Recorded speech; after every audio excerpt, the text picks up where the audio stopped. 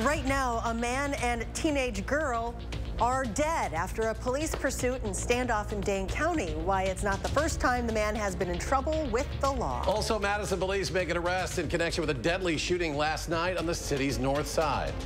And later, a member of the Wisconsin Supreme Court announces she will not be seeking re-election, what it could mean for the state's highest court. Welcome to News 3 Now at 6. Thanks for joining us tonight. We begin with continuing coverage of two homicides that took place in Dane County yesterday. Well, we'll first start at the town of Albion, where we are learning more about that police pursuit that turned into a standoff, ending with two people dead. The incident also connected to a homicide case apparently in Iowa. News 3 Now's Braden Ross is in Albion with the very latest. Braden, what can you tell us tonight? Yeah, Eric and Charlotte, you can see behind me, this is about as close as we can get to the area of that where that house was, where two of those people were found. Um, you can see the sheriff's office still has this street blocked off here in the town of Albion. But let me tell you a little bit more about what we know went down here last night and into early this morning. So officials say this all started actually down in Dubuque County, Iowa, where a 32-year-old woman was found dead in her home. That was at around 7 p.m. last night. The two children that lived in that home with her, a 13-year-old girl and a five-month-old baby, were nowhere to be found. As deputies in Dubuque County were arriving on scene there, the violence was still unfolding now here in Dane County. The incident uh, included uh, multiple scenes, including a police pursuit in regards to uh, two individuals firing rounds uh, at our deputies and other responding agencies. It included a handgun, a rifle, uh, as well as an armed home invasion an armed standoff, and again leading to the decease of two of our very own community members. Now around 5.30 p.m., Dane County Sheriff's deputies responded to a residence in the town of Dunn where that five-month-old baby was dropped off by two people. One of those people, 37-year-old Alexander Grunke, was later identified as a person of interest in that Iowa murder. The other was a 13-year-old girl who lived at that home in Iowa. Now the two fled from Dane County Sheriff's Office deputies in the town of Dunn and armed with a rifle and a handgun. Both of them shot at the deputies chasing them. The chase ended here on Highway 51. The 13-year-old girl got out and ran into the woods woods when deputies caught up with her.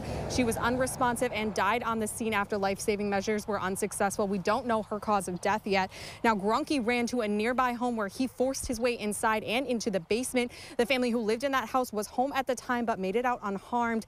And after an hours-long standoff, deputies on found Grunke dead in the basement of apparent suicide. Now, we have a ton more details coming out in this case. Actually, some disturbing details our newsroom is learning right now about Grunke's criminal history. I'll send it back to you, Eric and Charlotte, so you can tell him more about that. All right, Braden Ross live tonight. Braden, thank you. As she just was alluding to, this isn't the first time Grunke has been in trouble with the law. Back in 2006, he was charged in a case involving the attempted sexual assault of a corpse. Grunke, along with his twin brother Nicholas and also Dustin Radke, went to a cemetery in Cassville to dig up a corpse so Nicholas could have sex with it. The men stopped when they were unable to open the concrete vault. Grunke was arrested that night and later sentenced to two years in prison in 2010. Now to Madison, where we learn more today about that deadly shooting that happened last night on the city's north side. It happened on the 1900 block of Northport Drive, and police say a woman has been arrested in connection with this incident. Our Catherine Merck was at the scene where police arrived last night, and she joins us live with an update from police. So, Catherine, what did they tell you? Charlotte and Eric, this was the first homicide of the calendar year here in Madison. It happened at the apartment complex I'm standing in front of. And we got an update from the police department today breaking down some more details of what happened. Here's what we know this evening. At around 6:30 last night, police got to the scene of this apartment complex on the 1900 block of Northport Drive. The 31-year-old male had life-threatening injuries and was taken to the hospital where he later died. Today, police confirmed that that Tamar Brianna Beasley was booked into the Dane County Jail this morning in connection to the shooting. Police told us today that surveillance video showed a fight between Beasley and the male victim, who she had a domestic relationship with. That fight happened near a playground at the apartment complex before a shot was fired. I, often find it, you know, disturbing when I see playgrounds uh, near the scene of, of, any particular incident of violence. I think we all do, uh, which means that we have to do a better job.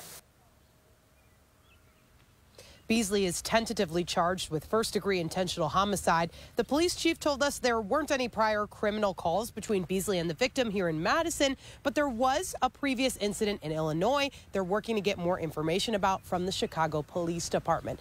Now, the chief didn't tell us any details about how many times the male victim was shot as they're waiting for autopsy reports. This is still an active investigation. Reporting live on Madison's north side, I'm Catherine Merck, News 3 Now.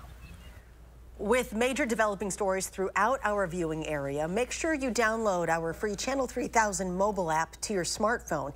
It's free where you get your apps. Just search Channel 3000. In Beloit, police say they arrested a 16-year-old in connection with the shooting death of a 20-year-old Beloit man. The shooting happened on April 5th in the 1400 block of Nelson Avenue. There, officers found the man with a gunshot wound. He died at the scene. Today, two homes were searched in Beloit and Janesville. As a result of the investigation, a 16-year-old was taken into custody. Statewide tornado drill scheduled for tonight has now been canceled. That's due to the potential for severe weather. It was scheduled to happen at 645, canceled as a precautionary measure, will not be rescheduled now. It would have been the second one of the day. The first was held at 145 this afternoon. Now, the likelihood of severe weather, though, is pretty low.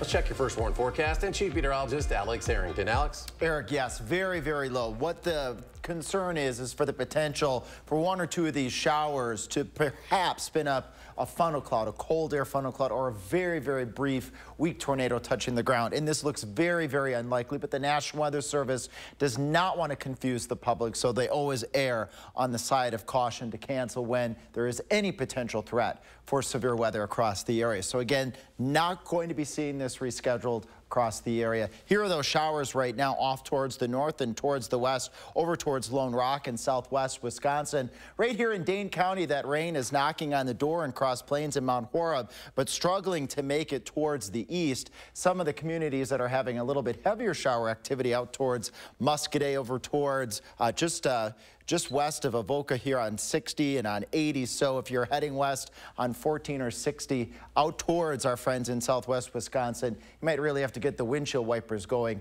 It will be pretty heavy rain in some spots, but not all of southern Wisconsin is going to see this. In fact, this is updating as we speak here right now. Some more shower and thunderstorm activity here as we carry on through the evening hour, stretching right down the I-39 corridor. As we head towards 10, 11 o'clock later in the evening, we lose the heat of the day, so to speak. It's not very warm, but just enough of it out there for that thunderstorm activity to start to dwindle. Days ago, we were saying that as we go out into early next week, beware, it could be very unsettled and stormy with the potential of severe weather. And we've flipped the switch here for alert day conditions to likely unfold as we go on into your Tuesday afternoon and Tuesday evening. Could even be your Tuesday morning as well. Coming up in main weather, we will track how much water we can expect out of tonight's showers and storms, how windy you can expect your Friday, why we've got the warm weather coming this weekend, and how that warm weather is going to fuel Tuesday's potential alert day conditions. A Wisconsin woman who stabbed a classmate nearly to death to appease the fictional character Slender Man will remain in a mental institution. Today, a judge denied Morgan Geyser's request to be released. Geyser was 12 years old in 2014 when she and Anissa Weier attacked their friend. Geyser stabbed the girl 19 times. Both she and Weier were found guilty of attempted homicide by mental disease or defect and sentenced to a mental health facility. In 2021, Weier was granted a conditional release. This is the third time Geyser has requested to be released. In Manitowoc County, it's now been more than 50 days since three-year-old Elijah Vu went missing in Two Rivers. Vu's mother, Katrina Bauer, sent Elijah to stay with Jesse Vang to be disciplined. Vang called 911 claiming he woke up from a nap and Elijah was gone. Now both Vang and Bauer have been charged with child neglect, but not for Vu's disappearance. Two Rivers Police Chief Ben Meinert says local, state, and federal resources are being used to uncover all of Manitowoc County. We have no evidence to believe that this child was abducted. That evidence has also shown that this child didn't just simply walk off. Meinert says the FBI has helped sift through more than 10,000 video files and at least 1,500 tips. At the state capital, Wisconsin will see a shakeup on its highest court. The longest serving justice on the state Supreme Court announced today she will retire next spring. Here's political reporter Will Keneally with more. Will? Well, this leaves a big open seat for the April 2025 election. Justice Ann Walsh Bradley is a member of the court's narrow liberal majority, so whoever wins that seat next year will control the high court. Now, Justice Ann Walsh Bradley was first elected in 1995, and the liberal majority that she's a part of now, it's the first time liberals have controlled the court in more than a decade. Now, since the liberals won the majority last year, the court has overturned the state's legislative maps and could have the final say in blocking the state's abortion ban. Now, know uh, of at least one conservative who is running in that election, former Republican Attorney General Brad Schimel. We've heard from a couple of sources some Dane County judges may be mulling a run. County Judge Susan Crawford and Appellate Court Judge Chris Taylor. Those announcements could come soon, though neither judge has confirmed yet whether they will in fact run. Still ahead on News 3 Now at 6, two writers from Madison receiving an award only eight others in the world were also recognized for. Also, the Wisconsin DNR says it found chronic wasting disease in a dead deer in central Wisconsin, what it means for the surrounding areas. You're watching News 3 Now at 6, brought to you by Gruber Law Offices. At Gruber Law Offices, you pay us nothing until we win your case. It costs you nothing up front to get the results and compensation you deserve. Gruber Law Offices. One call, that's all. Complete your backyard with an 11% rebate on everything at Menards. Spend less time maintaining your deck and more time relaxing on it with Ultra Deck low maintenance composite decking from Menards. It's easy to install, easier to maintain, and built to last. Suncast provides high quality, low maintenance, and easy to assemble storage. Protect patio cushions and other outdoor accessories with his Suncast 50 gallon deck box. Only $69.99 after 11% rebate. Now's the best time to refresh your space during Steinhafels Best Brand Sale. Take an extra 10% off all our best brands Canadel, Gasho, King Hickory, Flexsteel, and more. All 10% off. Need a little extra help transforming your space? Save up to $200 on our design services. Plus, make your new room more affordable with Steinhafels 60 month financing. It's Steinhafels Best Brand Sale. Shop in store or online at steinhafels.com. What can our foam do for your home? Incredible comfort, no matter what the weather. Incredible savings, because your AC is going to run so much less. It even reduces outside noise and allergens. No matter what kind of cheap insulation you already have, our foam will go right over it. Incredible. And spring is the time for incredible deals. So we're matching the $1,200 tax credit with a $1,200 discount. USA Insulation. How old are you? 99 plus. And he spent a lifetime doing something good. I'll tag along with this amazing local veteran as he reveals priceless life lessons and what we can all do to make his greatest wish come true. Tonight at 10. You're watching News 3 Now at 6. Opening day for turkey hunting season in Wisconsin opens in less than a week. Turkey season will run from April 17th through May 28th. All seven turkey management zones will be open for hunting. Hunters must carry their spring training license, wild turkey stamp, and valid harvest authorization while hunting. A wild deer found dead in Waushara County earlier this year has been confirmed to have had chronic wasting disease. The DNR says it is the first positive test result for that county. The three-year-old buck was found dead in the town of Wautoma within 10 miles of the Marquette and Portage County borders there. State law requires the DNR enact a three-year baiting and feeding ban in counties where CWD has been detected, as well as a two-year ban in adjoining counties within 10 miles of a CWD detection. Well, two Madison writers are being recognized for their work. Gothataone Moeng and Ada Zhang, both writers of fiction, were winners of the Whiting Awards. The awards honored 10 emerging writers of fiction, nonfiction, poetry, and drama with a 50,000 $1,000 award. Moeng is the author of Call and Response, a story collection featuring nine big-hearted, capacious stories rooted in the villages and cities of Botswana. Zhang is the author of The Sorrows of Others, a story collection that explores the paradox that historical silences and legacies of the past, in particular the impact of the Cultural Revolution on Chinese Americans. And coming up, a new report showing a bleak outlook on the state's teacher workforce. Plus, the Madison School District introduces its new superintendent, what he has planned for the district. The weather shaping up to be fantastic for the weekend. Alex returns his complete forecast after the break.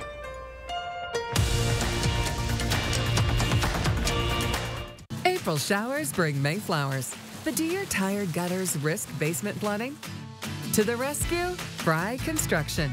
Our absolute gutter system is custom fabricated on site for a perfect seamless fit. It's engineered to outperform. Looking for a break in the clouds? How about a sunny 24% discount on our absolute gutter system?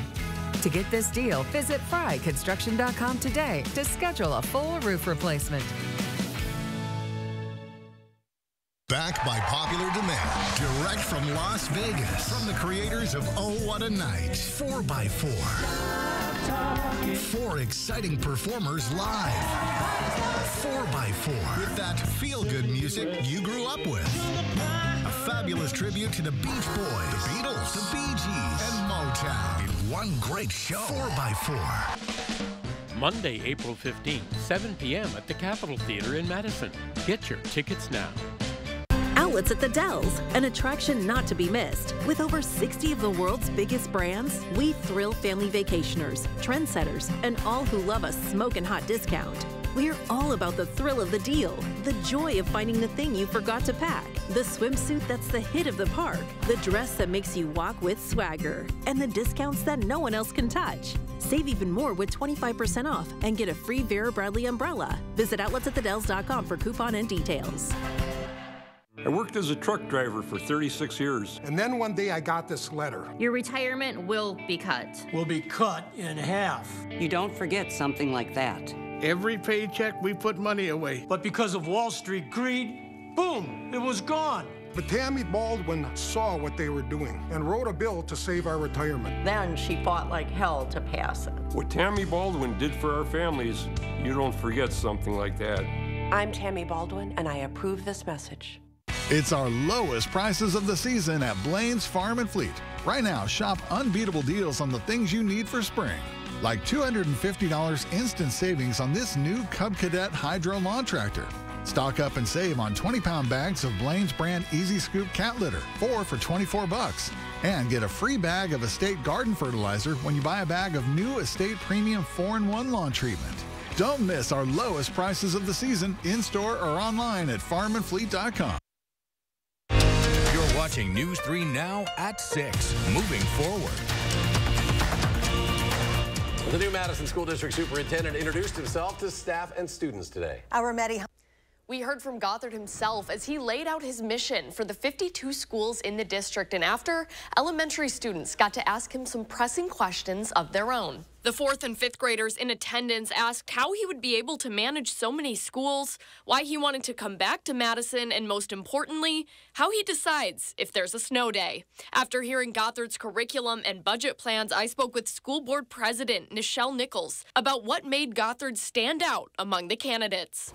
Being engaging, um, being present, and I think that came through time and time again in many of his responses about his approach and the way that he wants to engage as a superintendent. He told staff and students that creating a strong relationship between the schools and the Madison community is a top priority. Gothard is to begin in the role no later than July 1st of this year, but district officials say he's expressed interest in starting the transition process even earlier. A new report released by the State Department of Public Instruction today paints a bleak picture of the state's teacher workforce. The report calls teacher staffing a crisis, saying that teachers are leaving the state at an alarming rate.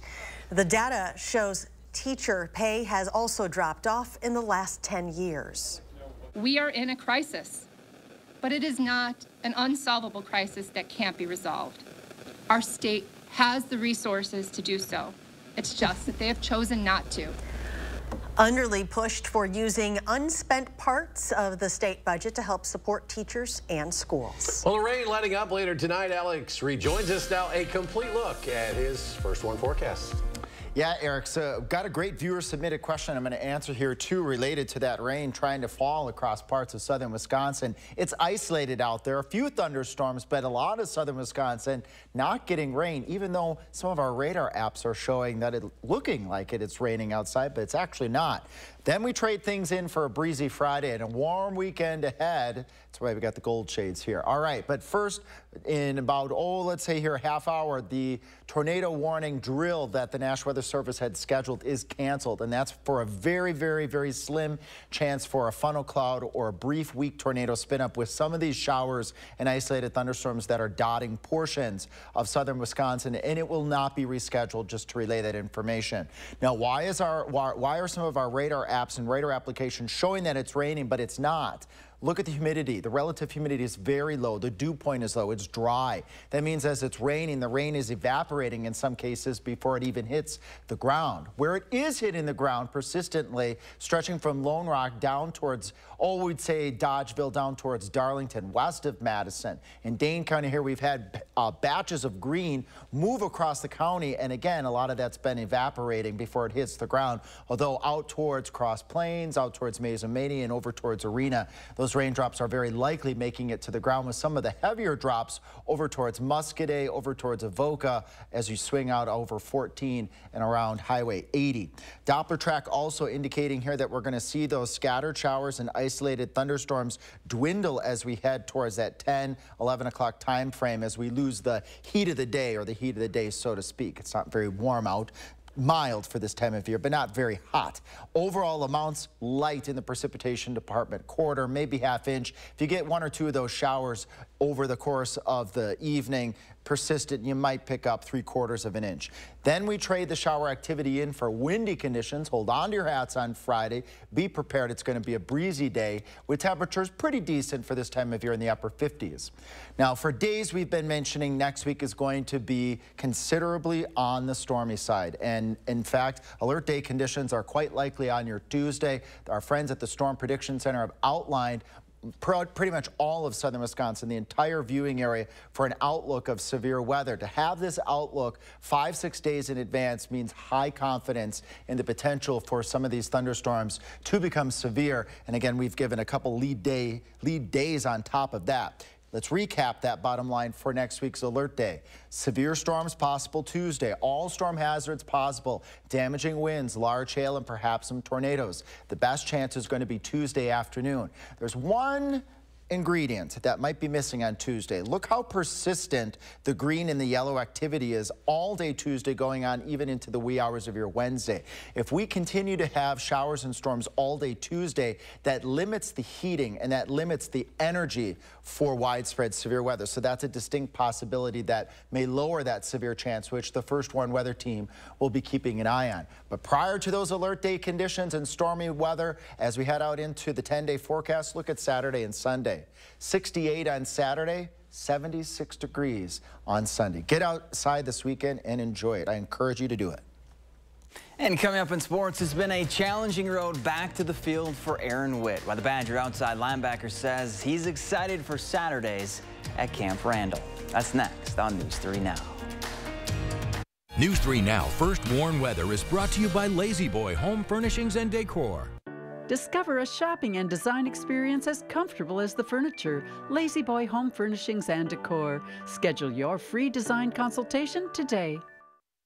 Get solar and get saving with Olson Solar Energy in the Madison area. When you're talking to someone and you call someone at Olson Solar, it's not someone in Utah, it's not someone in California, it is someone local right here. By doing that, you know, we control the entire process. So we control the project management, we control the design, we control the installation, the electric, the hookup, permitting, and, and that really sets us apart. Stop into our location near you or give us a call and ask us about our Earth Day promo. Upgrade your garage, patio, or basement this spring with our beautiful cutting-edge concrete coatings. Our coatings are four times stronger than epoxy and guaranteed to increase your home's value. For limited time, save up to $500 off your project. Plus, call during this program to see if you qualify for payment starting at just $30 a month. Habitat homes are not free. They're built and bought by hardworking families just like yours. Families with jobs, dreams, and a strong determination to create a better future. With stable homes, they can invest more in their health, education, community, and beyond. Thousands of our heroes face the difficult choice between keeping their heat and power on or facing homelessness. 21,000 Wisconsin veterans are living below the poverty line, many impacted by physical or mental health challenges. Wisconsin loses three veterans to suicide every week. Together, our mission is to provide all struggling Wisconsin veterans with a critical survival safety net that keeps them safely in their homes. You can make a real difference by providing a donation to the Wisconsin Heat and Housing for Heroes initiative, with 95 cents of every dollar donated going directly to those right here in your community. Help by visiting www.heatforheroes.org or by calling 1 800 891 9276. That's 800 891 9276. Nobody wants to replace the roof. But these days, many roofs are only lasting 10 to 15 years, costing you tens of thousands of dollars. Roof Maxx makes your roof like new by strengthening and rejuvenating it. Roof Maxx treatments started early enough can extend the life of your roof by 15 years or more. And even if you think your roof is at the end of its life, 90% of the time, Roof Maxx can extend the life of your roof by five years at a fraction of the cost of a new roof. So give us a call and we'll give you a free assessment to see if your roof qualifies.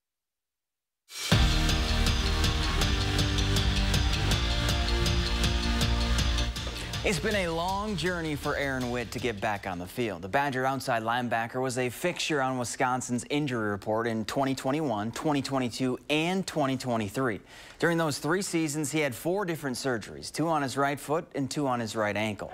Last November at Minnesota, Witt got in and played four snaps. His first game action in 1,060 days. And now at spring ball, he's finally a full go and fully healthy and he can't wait to show the world.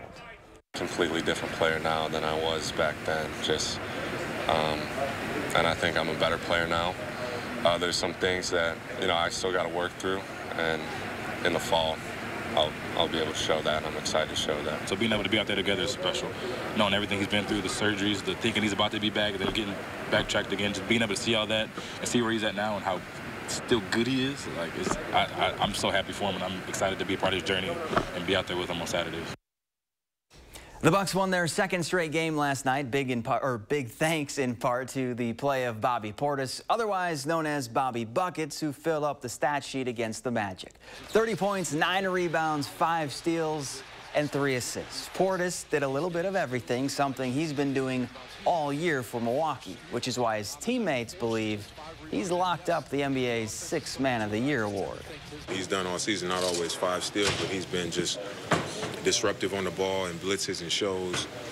Um, just played at, at that level all season long. You know, I think it's a pretty easy call who the six man of the year is. Coming here was perfect, man. Just being able to play with swag and energy. Guys let me be me, and everything been working out so far, man. Um, only thing I need is a couple votes.